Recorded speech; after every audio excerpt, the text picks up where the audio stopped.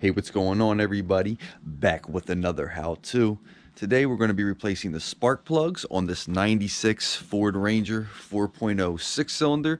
Now this should fall in line with any second gen Ranger which is 1993 to 1997 so let's get into it now.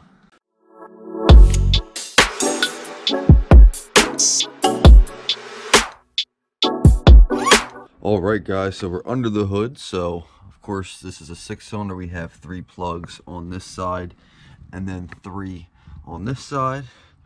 There is our coil pack.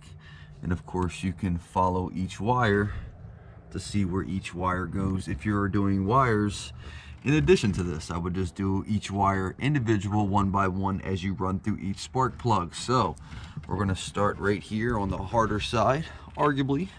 We're going to do the first one, which is right there next to the alternator. So you can see that little red wire right there.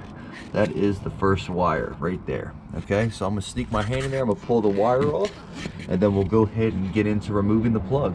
All right, guys, so this might be hard to see. I'm going to take my hand and go through the radiator hose here. I'm just going to sneak my hand right around that plug, and I should be able to pull the wire right off of it. All right. So I have the wire free. First wire out, and you can see our plug right there. right there. We're going to go ahead and get that thing out. All right, guys. So there's our plug. Now, the spark plug is a 5 8 spark plug socket. So I have a 5 8 spark plug socket with a 2 inch extension. So what I'm going to do is go in the same way. I'm to sneak this right over okay so it might be hard to see with this angle but I got our plug socket and the extension coming out right there. So I'm to take a 3 H drive all right 3 H drive ratchet. So I'll go ahead and sneak on in here. All right so I'm locked in and literally just going to go ahead and start backing this thing out. So see if you can see me on it. There we go broke free these have been done in the recent past, and I'm not going to get into why I'm doing them again, but just know it ain't good. But we're going to go ahead and get this out since it's free. If you can see, I'm gonna go ahead and finger loosen it out. All right, and there is the plug, guys. So first plug's out. All right, guys, so here is the old plug. Actually doesn't look horrific take it out. It is a Motorcraft, and this is the exact same plug, another Motorcraft. So this right here is the new plug. Okay, so it is a Motorcraft, as I mentioned. That is the part number. All right, it is SP486. So that is the OEM Motorcraft Ford plug replacement. All right, so it came out. What we're putting back in. So we're going to go ahead and get this thing prepped up. All right, now before we put this plug in, we're gonna go ahead and get this thing prepped up and ensure it's good. Now the spark plug gap for this plug should be between 52 and 56 hundredths. So if I'm taking it on the spark plug gap tool here, uh, it's about right at 55, maybe 56. So this is straight out of the box, pretty much exactly where we need to be. So we're going to go ahead and install it with this gap. Now this will be more of a recent debate. Um, you know, a lot of these plug manufacturers now, especially with uh, certain platinum uh, and, you know, different metal plugs say that you don't need to use anti-seize. I don't care. I'm still going to put a little dab of anti-seize on there. It really isn't going to hurt anything either way. If you choose to put it in with it, go for it. If you choose to put it in without it, more power to you as well. Either way, honestly, as long as you're not globbing it on and putting a huge amount where this can't ground or causing an effect on the plug itself, it's really not an issue. So I'm going to take a little bead, just put it over these first few threads, and then we're going to go ahead and thread our plug right into the cylinder. All right, guys, and if you can see, I got an extremely small amount here. So I'm just going to barely put it on these first threads here. Spread it out as best as I can and I just got the littlest amount, like literally just a part of the threads are being covered. All right, so that's how much anti-seize I'm putting on there. So let's go ahead and get this thing into the cylinder. All right, guys, so what I have here is I just have the plug in our 5 8 socket with the extension. I'm just gonna go ahead and guide this through the same way we came out. And I'm just gonna go ahead and start finger threading it in. So I'm just gonna go ahead, navigate my way to the hole. All right, and I am in. Try to get an angle for you guys, but it's in. So I'm just gonna go ahead and finger thread this in until I can't finger thread it anymore, okay? So just literally hand turning it into the cylinder. It is now tight and the torque spec for these are 7 to 15 foot-pounds, okay? So for this particular push rod motor, it is 7 to 15 foot-pounds. It's a pretty wide range. In my opinion, you can get away with just a snug of a socket wrench, like a half turn, whatever, and you should be fine. So I have it finger tight. I'm going to grab the socket wrench. We're going to snug it in, and that should be more than enough to get this plug snugged into the cylinder. All right, so I'm sneaking on in here know if you can see there, but I'll get this wrench in. All right, guys, so I got my socket wrench in. Really hard to see, but I'm barely moving it. All right, barely moved it, got it tight. Should be nice and tight in our cylinder, so I can go ahead and pull this off. So my whole socket wrench and extension, everything came off. That is now tight in our cylinder, and all I have to do is take the wire guide it back on and press it right back over the plug. All right guys, really hard to see in there, but literally just press the wire back on and there is right there a little place for, you know, the wire to be pressed in so it's safely routed to the plug. So, you know, these are going to be kind of hard to get a good shot of. As you can see, there's really not much uh, camera room in here to get anything good as far as shot wise, but I'm gonna do the best I can for you guys and hopefully you can get the idea as this really isn't too hard. It's just a matter of knowing what variation of extensions and such to reach each one in its particular place. So we come to the middle here, see if I can get the light on it. There is our second plug wire, okay? So that's the second one we're gonna do here on the passenger side. What I'm gonna do is go ahead and pull that out with my hand, of course, and then we'll go ahead and get the plug out. All right, guys, this one's gonna be kind of tight to get your hand in. Pull the wire out. I'm gonna go in the same way I did the last one. Go right through that hose. Uh, yep, there it is, popped off. There it is. Show you where my arm went in. Just went right through the radiator hose again, and I was able to pop that second wire right off of our middle cylinder right there. All right, guys, so the wire is off. Now we just got to go ahead and get the plug out. So if we use the same setup as we did on the last plug, on the first one, the 2-inch extension with the socket wrench, it's a really tight fit due to the AC bracket right there. So you would be almost hitting that. Even if you put the uh, plug, socket, and extension, drop that on first, and then try to sneak the socket wrench in after, it's still a really tight fit. So what I found to be the best combination here is I have a 3 8 drive little wobble socket. It's probably about an inch. But this combination, if we go ahead and go in the same way we've been going under this radiator hose, if I go ahead and drop this on, it's going to be kind of hard to see there, but I am on the plug, okay? It should give me just enough room to sneak our socket wrench in. Hopefully you can see where I am. Just gotta find the hole on the extension with the driver. There it is. All right, guys, I am on it. So that is a perfect fit. And then bang, broke it right loose. And there it is. All right, so I'm gonna do is pull this out. You can even go in with the whole setup. This is the setup, the wobble extension, small wobble extension with the uh, socket. So just gonna take our socket here, go back in, same way right on the radiator hose and I'm just going to start finger threading this out. Should be about almost there. Yep, there it is.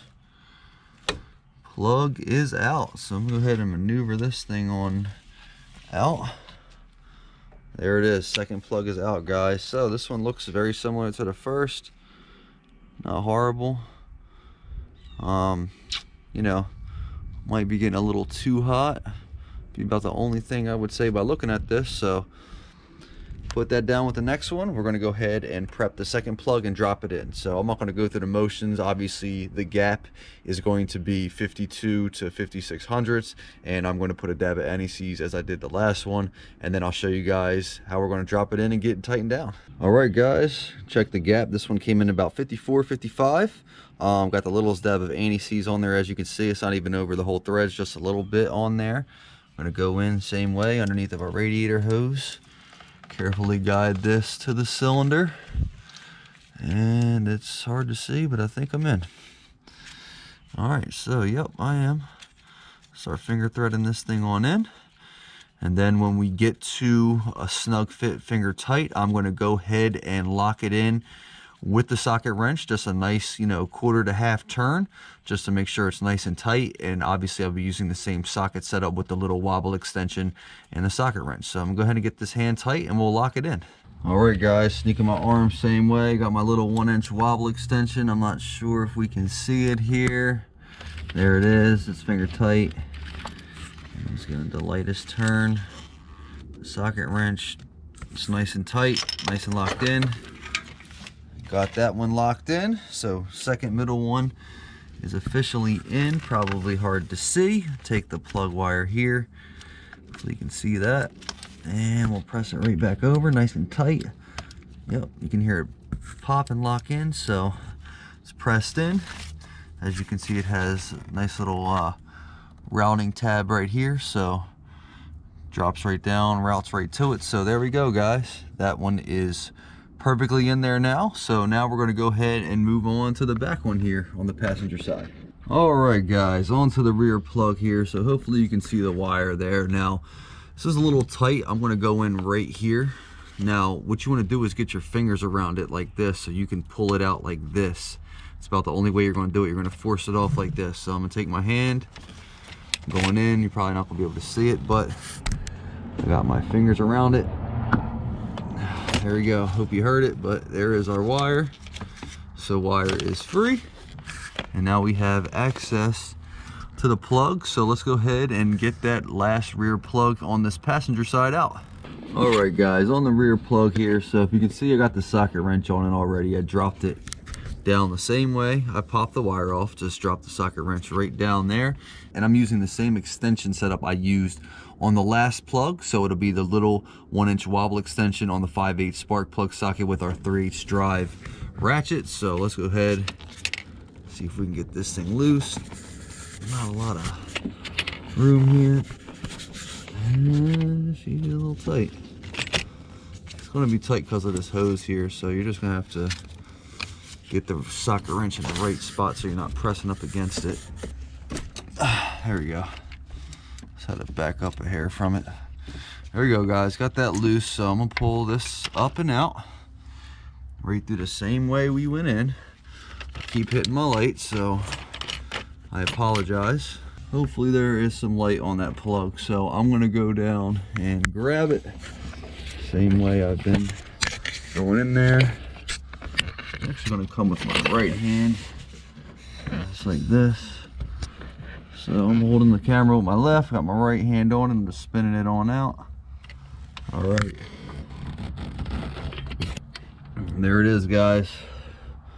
Third plug on the back cylinder here on the passenger side is officially out. All right, guys, the same deal as last time, just a hair of anti-seize. Check the gap, this was at 55. So what I'm going to do actually is I'm going to do it the same way I pulled it out. I'm going to drop it in with my right hand and just turn it around once I get to the cylinder. Um, as you heard, I definitely moved the light, so we won't be seeing much, but you can get the idea. I'm really just feeling it out. I'm, I'm already in the hole, so I'm literally just dropping it in, finger tightening now. So that's in. see if I can show you guys here. But there it is. There's our plug. I just went in reverse with my right hand, dropped it right in. So I'm gonna finger tight that up and then we'll drop our socket in there and get a nice hand tight on there with the socket wrench and we're good on this side. All right, so I have that finger tight. I'm gonna go ahead and drop the socket wrench right down in the same spot we've been dropping everything else down in. I'm on it, so I'm just gonna go ahead, lock that in, get it tight, and then we'll go ahead and put the wire back on. All right, barely tight guys, so that's good. We'll go ahead and pull our socket wrench out. And we got our wire right here. So as you can see, it has a tab as well. So I'm just gonna drop that on, push it onto the plug and we'll be good. All right guys, so we have the passenger side, all three plugs done. We're gonna come over here to the driver's side and we got a little bit better access, a little bit better view of each one. So there's the rear, there's the middle, and there's the front. All right, so we're gonna go ahead and start with this front one right here. Go ahead and see if I can put the light down. And this should be pretty easily accessible plug. I'm gonna go ahead and sneak my hand in here and pop that wire right off. All right, so gave me some good space there. So now, as you can see the plug, we'll go ahead and get our socket and socket wrench and we'll get that thing out. All right guys, I'm going for a little bit different setup for this here. It's a little bit longer reach than we had on the passenger side. So I have a 10 inch extension on the socket. Go ahead and guide it on in. All right, so should give me some good leverage right there. So I'm gonna go ahead and grab the socket wrench. All right guys, you can see I'm on it. there we go. Got that thing broken loose. So I'm gonna go ahead and back that off with my hand. Go ahead and separate that socket wrench and just back it out with the extension. There it is guys. Whoa, plug out.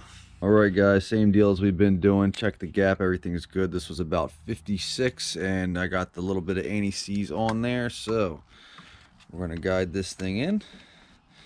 At least I hope to. Let's see here. Yep. Got it in.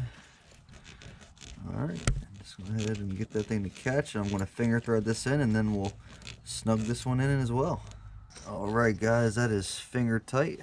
We'll get our socket wrench on there, just give it a nice little turn tight, and then we'll have this first one on our driver's side done. All right guys, barely a half turn, barely. All right, so that's nice and tight. We'll go ahead and pull this off and get our wire on. All right guys, just sneaking under this power steering line here. We'll go ahead and press that wire right back onto the plug. There we go. There it is guys, nice and tight and keep in mind that is routed with tabs as well all the way behind the intake manifold to the ignition coil as all the wires on this side are. So just be aware of that and that's how all these fall in line if you're doing the wires as well. So there we go plug in. Now we're going to move to the middle one here. Hopefully you can see that. Should be able to get my fingers on it. It's going to be hard. I'll go ahead and give you guys a visual real quick. This EGR pipe right here is going to be on our way for these next two plugs. So not only is the big middle, but those two little ones are as well. So there we go, guys. Just snuck my hand in. It's able to pull it out. There's the wire. I'll leave it right there for right now. So now let's go ahead and get that plug out. All right, guys. So we're going to go ahead and get that plug out now. I have a weird combination set up here, but it's going to work and that's all that matters. So yes there's probably another combination you can get to work but this is what I'm going to use. This is a 10 inch wobble extension. I have a 1 4th to 3 8 drive adapter and I got another 1 4th 3 8 adapter the reverse way into my 3 8 drive ratchet. So 3 8 drive ratchet 3 8 drive adapter to 1 4th wobble adapter into spark plug socket. So we're going to come at it from the top here okay? So I actually have just about the right amount of space here. Yep I'm locked in. All right so see if we can get. Ooh, knock the light but I got it loose guys the light is just fighting. But here we go guys. As you can see this is loose. I'll go ahead and get this socket wrench out of here and we'll back it out with just the extension. All right guys, just the extension here. Spinning this thing out just by hand, as you should be able to do. I think it's out. I think I'm gonna drop it. There it is, guys. I got it. And there is our middle plug. All right, guys, by now we should know the routine. Check the gap. This one was at about 54, 55, littlest dab of anti-seize. And I actually, to guide it in, I have a four inch wobble extension. So that's how I'm going to access this to put it in. So I'm gonna go ahead and guide this thing in here. And I feel like this would have been a little bit easier to guide with than that big one and that's why I did it. And it worked because I am catching threads. So I'm gonna go ahead and figure tight that in and then we'll go ahead and tighten that down. All right guys, got the socket wrench back on with the 10 inch extension. Give it the littlest turn there. And I think we're locked in pretty good. Yeah, feels like it. Yep. All right guys, so that is locked in. Plug is fully tightened in there and I'm just gonna go ahead and press that wire back on and then we'll move to the back cylinder. All right, so we have made it to the last cylinder. Wire is on the middle one, so we're gonna have the EGR pipe fighting us here too, but we should have easy access. A little bit easier than the middle one at least to pull that wire off. All right, got that pulled off. And now let's go ahead and get that plug out. All right guys, so there is our plug and the setup I'm going to be using to get to that last one. So I'm going to be using a 3 H drive socket wrench, 3 8 to 1 4th adapter, 1 4th 4 inch wobble extension to a 3 8 adapter back to our spark plug socket. So I'm actually going to go under the EGR pipe on this one. So let's see if we can get this wobble to cooperate with us and get that on the plug there kind of hard one-handed here, but doing my best. There we go. So as you can see, I'm under the pipe and I got it. All right, yes, it is coming out. So as you can see, I'm backing it out. I'm gonna go ahead and get this last plug out and we'll get the new one in. All right, guys, last plug is out here. And put it with the other ones. I'm gonna go ahead prep our new plug and we'll get that in and we'll have all six of the plugs in our 4.0 V6 replaced. All right guys, gonna go ahead and put our new plug in with the four inch wobble extension set up just how we took it out. Now this was about uh, 55 on the gap, got the littlest bit of anti-seize on there. So let's go ahead and thread this in. All right guys, so I'm just gonna go under, same way I took it out and go ahead and get that thing started finger threaded in.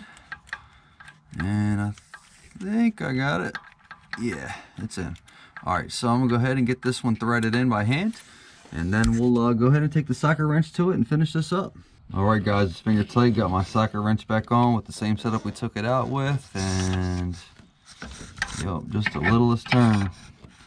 Probably got a little bit between a quarter and a half turn, So make sure yeah, it feels nice and tight, guys. So, got our rear driver side plug all locked in, nice and tight. I'm gonna go ahead, take our wire, put it right back over the plug here. Hopefully you can see that. All right, and there we go. Wire is on. So we have all six of our new plugs in the engine. All right, guys, so there's, of course, different combos of extensions and adapters and things you can use to do this job.